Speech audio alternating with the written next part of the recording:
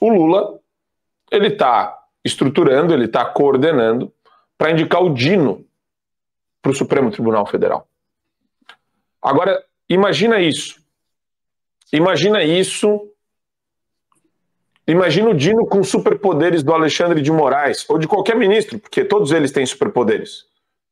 Todos eles têm poder de chantagear senador, chantagear deputado federal, foro por prerrogativa de função. Todos eles, que, que, que, é o foro, não é o foro privilegiado, é o foro amaldiçoado. Não tem nada de privilégio, é uma maldição o foro. Você fica refém de mafioso. Esse é o foro. Você ganha. Você fala, ah, eu tenho imunidade parlamentar. Não, não existe mais imunidade parlamentar. Não, mas o foro é privilegiado. Serei julgado por 11 excelsos pretórios.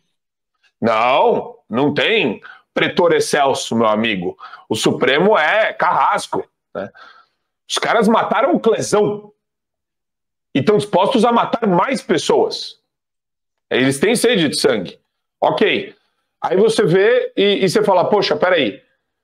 Agora a gente não pode deixar, Paulo, a peteca cair.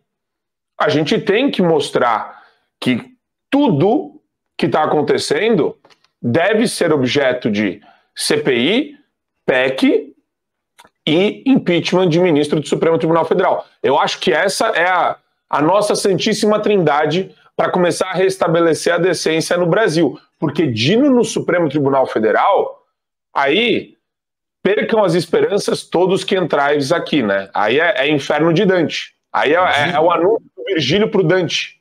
Dino no Supremo é, é o fim de qualquer vestígio de justiça, qualquer expectativa de justiça no Brasil.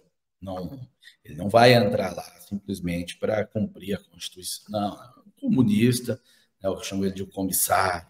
Né? Ele tem outra missão, não tem limites para isso. É um cara autoritário, tanto é que ele defende o legado de Stalin, essa gente toda. Ele é autoritário e estará no Supremo para ser mais autoritário do que, do que quem está lá. Não é para outra coisa. É alguém que no Ministério da Justiça fala: minha Polícia Federal se reúne com os diretores das plataformas de redes sociais e ameaça todo mundo. Alguém que despreza o Congresso, ele despreza, debocha, desrespeita, alega que não vai à Câmara porque não se sente seguro lá. Razões de segurança. Então, se tem alguém neste país que não pode ser um zelador da Constituição Federal, é o senhor Flávio Dino. Ele pode ser zelador de jardim, pode ser zelador de qualquer outra coisa. Mas zelador de liberdades, não mesmo. Porque ele quer acabar com elas. Esse é o histórico da sua formação, da sua ideologia. Ele não nega isso, ele fala até com deboche, sou comunista, graças a Deus. Ele não é mero militante comunista, ele tem trabalhos prestados nesse sentido. É um sujeito perigoso. E aí, Marco, casando essa situação com a, a, volta das pessoas às ruas, toda essa energia social que ela volta a ferver, é preciso direcionar isso para os meios certos para que produza esse resultado. Uma foto na Paulista com um milhão de pessoas é muito legal, mas ela pode não produzir o resultado esperado se ela não for canalizada corretamente. Quem tem os meios de barrar isso e outros abusos chama-se Senado Federal. Eu defendo, desde a época que o pessoal foi para a porta dos quartéis, que isso era, eu sempre falei que isso era um erro. O certo era canalizar as energias para senadores e o presidente do Senado Federal. As massas precisam ser vistas, ser enxergadas por esses, porque eles é quem tem os meios de ação adequados, legais e imediatos. A sabatina do Flávio Dino vai ser nos próximos dias, 15 ou 20 dias no máximo. Então, é para lá que se canaliza essas energias. O Senado deu um recado.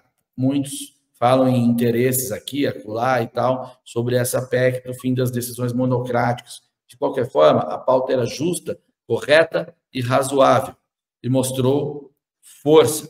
A reação foi ridícula, desproporcional, infantil, patética, tanto de parte da imprensa alinhada, que ficou muito claro esse consórcio, né? Supremo, alguma parte do Supremo, pelo menos, com grande imprensa, especialmente Rede Globo, para isso serviu. É uma reação que absolutamente descabida e que só comprova mais uma vez de que é preciso que o país debata esse problema.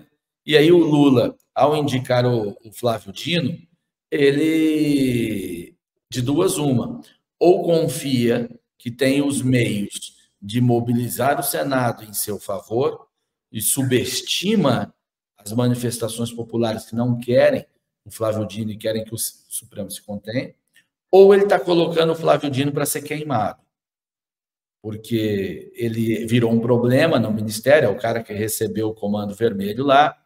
Parte do PT se sente incomodado com o espaço que ele ocupou e o Lula promete para ele cair para cima e vai queimar com uma reprovação no Senado. Acho pouco provável que seja isso, diga-se de passagem, mas eu gosto de trabalhar visualizando todas as hipóteses. Mas o, o grande ponto aqui é fazer com que as energias sociais sejam canalizadas para o Senado e para a presidência do Senado. Para você ter acesso ao conteúdo integral do Fio Diário, é fundamental que você assine agora a plataforma e aproveite as condições que a gente tem promocionais para você ter todos os acessos aos programas. Adrilhe sobre tudo, Marco Antônio em Direita, além do ponto G, entrevistas com personalidades nacionais e internacionais, óbvio, show da manhã e várias outras atrações do Fio Diário.